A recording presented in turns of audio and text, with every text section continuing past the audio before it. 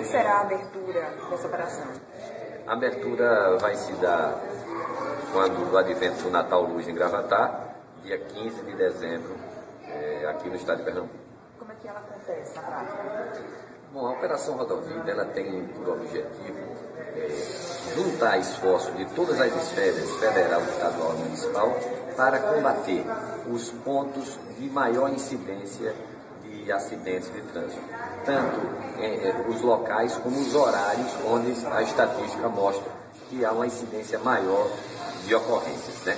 Também ela foca em três eixos principais, que é o excesso de velocidade, a ingestão de bebida alcoólica e os motociclistas. Né? Esses três é, eixos são responsáveis por quase 90% dos óbitos nos acidentes de trânsito, de forma que é, a operação objetiva.